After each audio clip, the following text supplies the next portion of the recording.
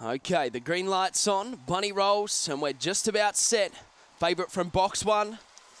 Set, ready, the boxes fly open, time to panic away well, but quicker at the start was Arbor Elvis and Natural Moment. They go side by side in unison out of the first turn. Out into third now, out wider on the track is Born Beauty underneath it. Time to panic is rallying back. Then we've got running on as the reserve, which is House Winds. Further back in the field, trying to get a go on is Cryers Ruddy. Forget about the rest. Up towards the top turn, Arbor Elvis uh, rather uh, out in front now, coming on the inside. That would be time to panic, time to panic. Arbor Elvis and House wins, but Arbor Elvis gets up from House wins. Third home time to panic. Then we would have had Born Again further back in the field. Then uh, would have been uh, Cryers Ruddy, and the last few home would have been Natural Moment, Born Beauty, Born Again, and uh, that would have just about summed up the field in a time of 30 and 97. And the winner of the three, Arbor Elvis, for Barry Shepherd at 5.